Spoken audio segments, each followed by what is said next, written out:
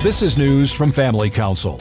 The state of Arkansas's lawsuit against social media giant TikTok is moving forward in Union County Circuit Court. In March, Arkansas Attorney General Tim Griffin's office filed a lawsuit against the Chinese based company ByteDance, the corporation that owns TikTok, alleging the social media platform violated Arkansas's Deceptive Trade Practices Act. Among other things, the lawsuit argues that TikTok failed to fully disclose that TikTok is subject to Chinese law, including laws that mandate secret cooperation with intelligence activities of the People's Republic of China. The lawsuit also alleges that TikTok routinely exposes Arkansas consumer data without their knowledge to access and exploitation by the Chinese government and Communist Party, and that TikTok's parent company, ByteDance, has admitted to using data gathered through TikTok to surveil Americans.